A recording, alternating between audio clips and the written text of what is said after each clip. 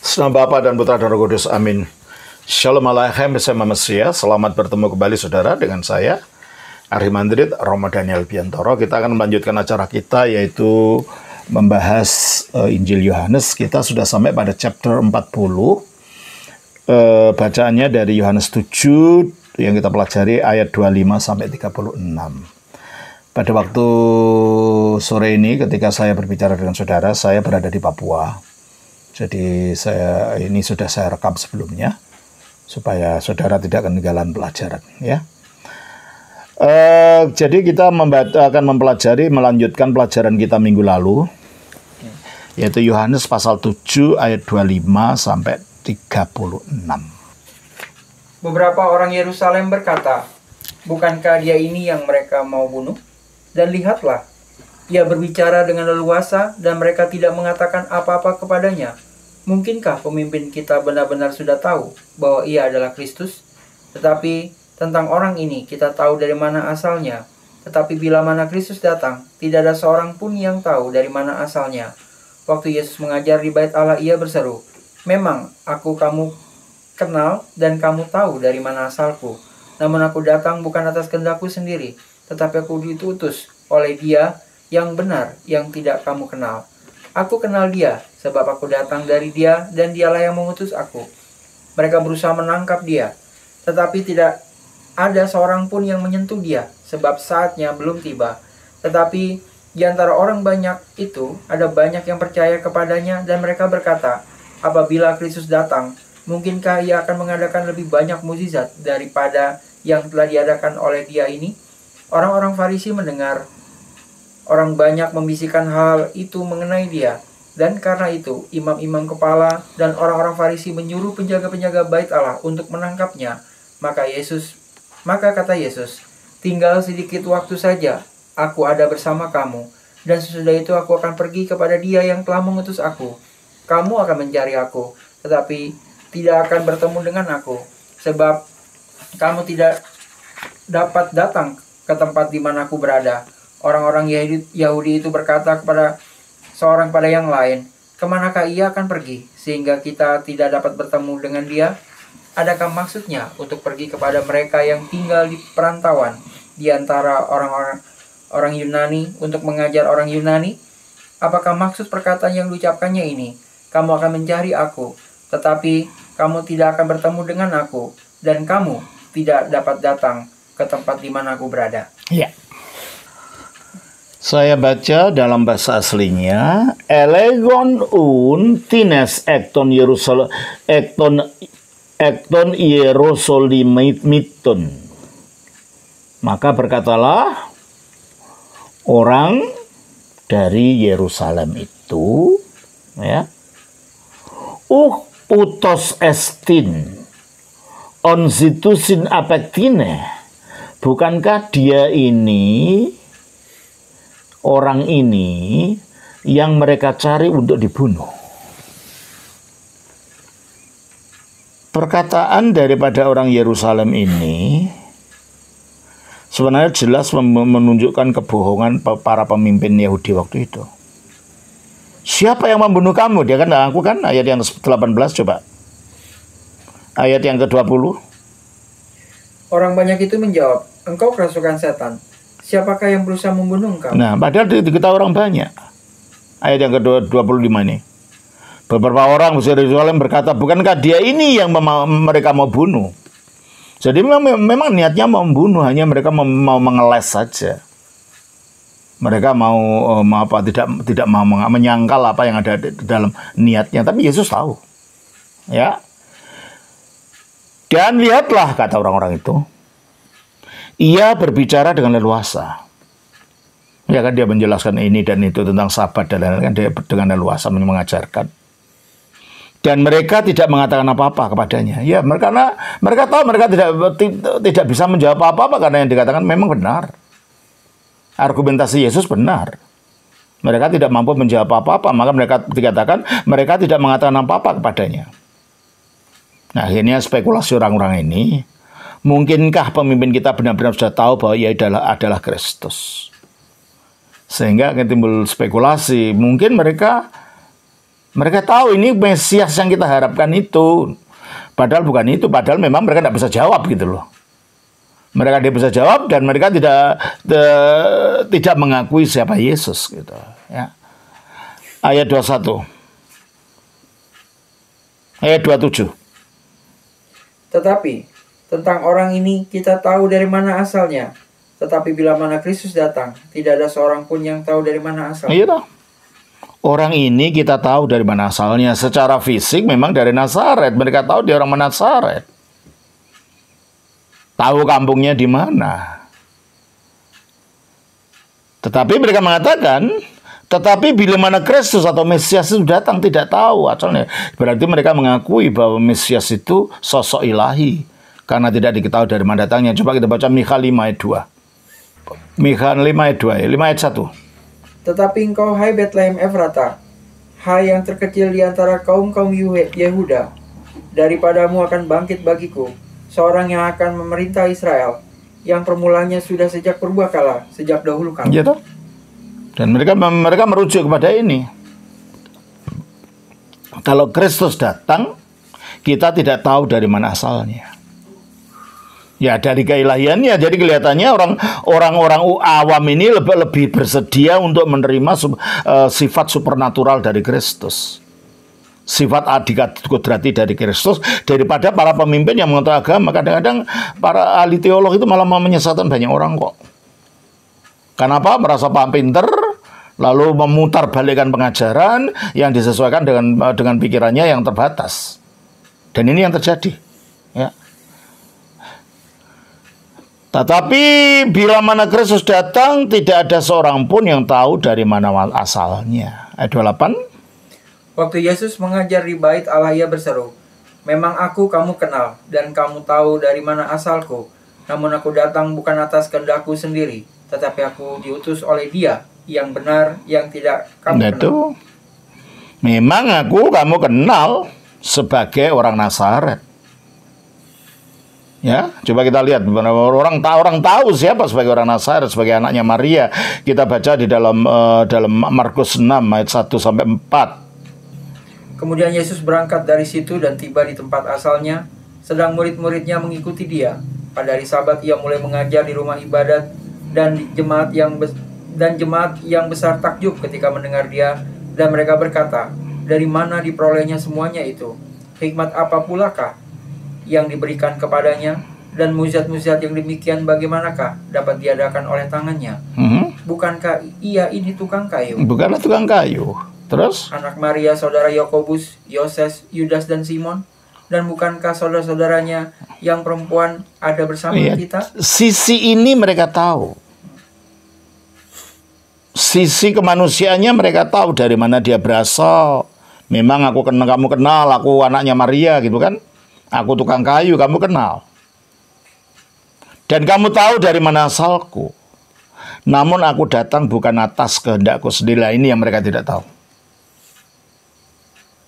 Karena dia datang dari surga, dari Bapa. Coba kita baca lagi dari Yohanes 6 ayat 38. Sebab aku telah turun dari sorga. Aku telah turun dari sorga. Bukan untuk melakukan kehendakku. Bukan melakukan kehendakku. Tetapi untuk melakukan kehendak dia yang telah iya, mengutus aku. Maka dia mengatakan, namun aku datang bukan ke atas kehendakku sendiri. Dan ini yang mereka tidak tahu. Kehendak siapa? Tetapi aku diutus oleh dia yang benar. Diutus artinya disuruh turun dari surga. Bukan diutus di, diberi jabatan rasul seperti pemahaman saudara-saudara muslim tentang Yesus.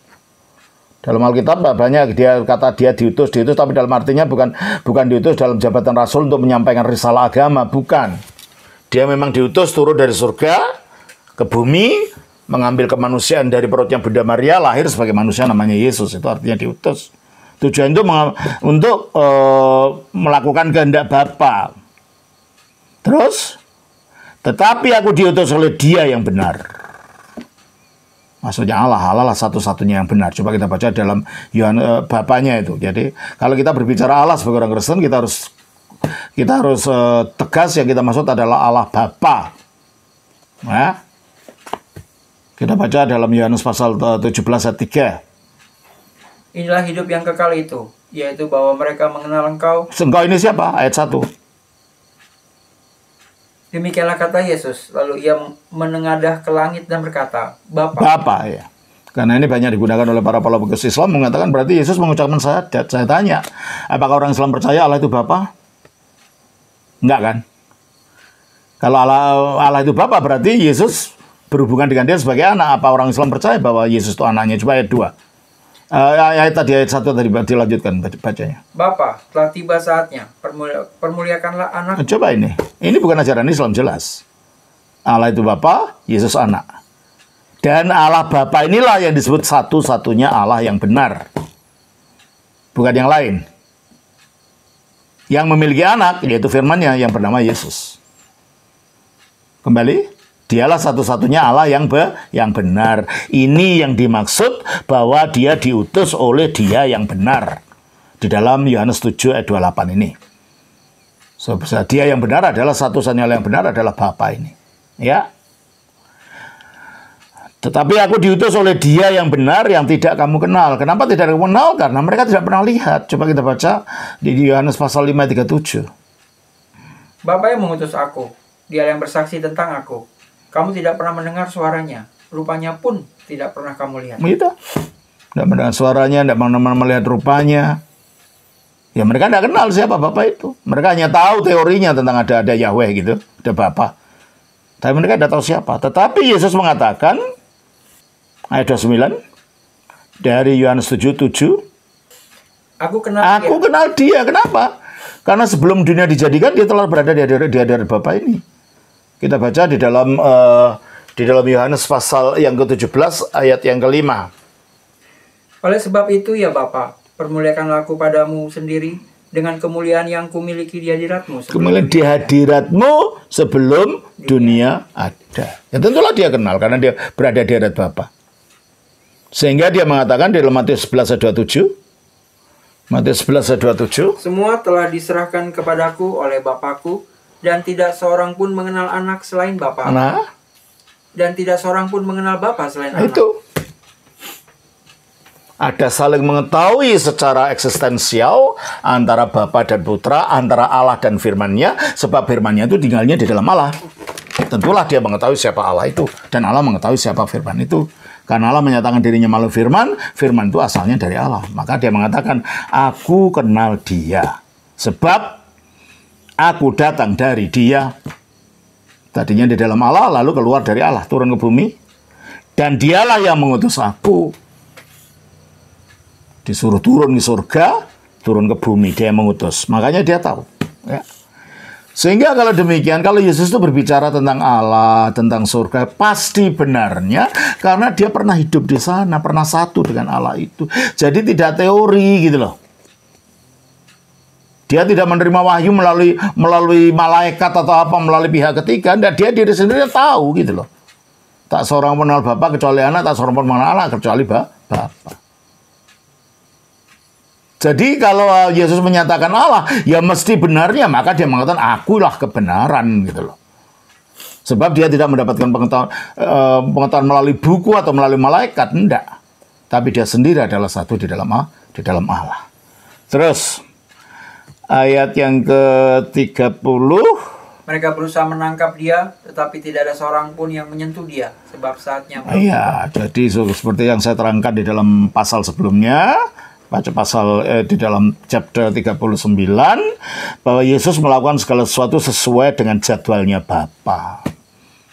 Kalau jadwalnya belum sampai, orang mau berbuat ini atau berbuat itu tidak akan dapat dilakukan. Dia melakukan sesuai jadwal itu, maka biarpun orang itu akhirnya membenci dan akan menangkap dia, tetapi tidak seorang pun yang dapat menyentuh sebab saatnya belum tiba. Dia menunggu saatnya Bapak. Segala sesuatu yang dilakukan adalah sesuai dengan program dan jadwalnya Bapa. Ayat 31. Tetapi di antara orang banyak itu ada banyak yang percaya kepadanya. Nah, tapi meskipun ada permusuhan, tetapi juga ada yang percaya. Demikianlah dalam kita mengabarkan Injil pun, tidak semua akan percaya pada kita. Maka ada yang mengejek, menjelekkan, menjelek. Tapi ada juga yang percaya gitu loh. Jadi oleh karena itu kita harus tetap memberitakan percaya atau tidak. Bahkan dari dari yang mendengar ini pun ada yang percaya dan mungkin mencibir. Tapi tidak jadi masalah. Karena Yesus pun mengalami demikian. Ya toh? Terus Dan mereka berkata, apabila Kristus datang, mungkinkah ia akan mengadakan lebih banyak mukjizat daripada yang telah diadakan oleh dia ini? Ya. Mereka bertanya karena akhirnya mereka mengetahui bahwa mungkin mereka meskipun tadi yang dilihat hanya satu mujizat yaitu menyembuhkan orang orang lumpuh, tapi mereka mendengar banyak mujizat yang dilakukan. Saya mengatakan, apakah Mesias kalau datang akan melakukan mujizat lebih banyak dari orang ini? Berarti mereka mengakui Mesias itu sosok supernatural, sosok adikudrati, bukan hanya sekedar pimpinan eh, jenderal pimpinan manusia keturunan Daud seperti yang di seperti yang diyakini oleh para tokoh-tokoh mereka. Terus ayat 32. Orang-orang Farisi mendengar orang banyak membisikkan hal-hal itu mengenai dia. Nah, tentunya lah mereka kan bisik-bisik ya. Dan bisikan mereka itu berbeda dengan pendapat para pimpinan agama ini. Maka dia orang-orang Farisi mendengar orang banyak membisikkan hal itu mengenai dia. Dan karena itu imam-imam kepala dan beberapa orang-orang Farisi menyuruh penjaga bait Allah untuk menangkapnya. Sekarang sudah mulai mereka mau menangkap. Tadinya mungkin tidak sabar ya, mungkin hatinya panas gitu di eh, dia mem- ketika Yesus menyatakan jauh lebih dalam mengenai dirinya. Ayat 33. Ayat 33, maka kata Yesus, tinggal sedikit waktu saja aku ada bersama kamu, dan sesudah itu aku akan pergi kepada dia yang Ya, telah karena waktunya kan cuma tiga setengah tahun ini mungkin di- sudah dihabiskan berapa tahun ini, berapa kali dia ke bait Allah. Mungkin ini mungkin satu setengah tahun sudah. Dia melayani di muka umum, maka dia mengatakan, tinggal sedikit waktu saja aku bersama dengan kamu. Dan sesudah itu, sudah ber- aku akan pergi kepada dia yang telah mengutus aku, baru kembali ke surga. Ya. Ayat 34. kamu akan mencari aku, tetapi tidak akan bertemu dengan aku. Tentunya kalau dia di surga gimana benar mereka mereka bisa menemukan Yesus? Ya.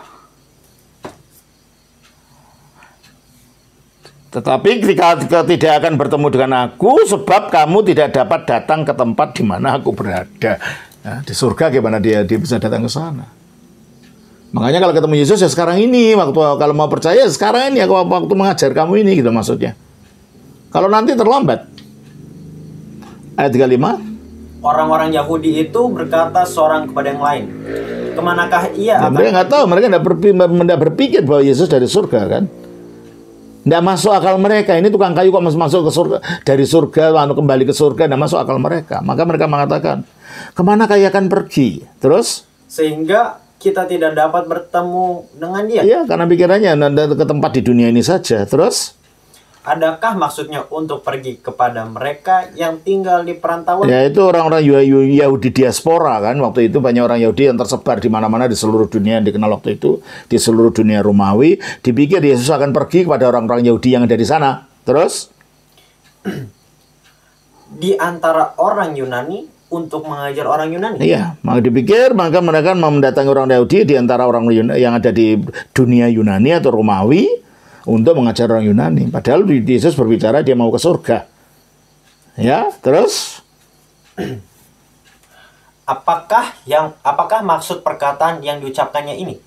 Kamu akan mencari aku, tetapi kamu tidak dapat, oh ya, tidak akan mereka tidak ngerti maksudnya. Kamu tidak akan dapat mencari aku, tidak bertemu karena dia di surga. Gimana ditemui? Terus dan tetapi kamu tidak akan bertemu dengan aku dan kamu tidak dapat datang ke tempat di mana aku Oke. berada. Dia berada di sebelah kanan Allah. Gimana manusia bisa datang ke sana? Kamu akan menyesal nanti kalau kamu nggak percaya sekarang. Nah demikianlah saudara kita sudah selesaikan chapter 40 ini dari Yohanes 7 ayat 36. Semoga ini bermanfaat dan akan kita lanjutkan lagi nanti minggu depannya. Ya, Tuhan berkati.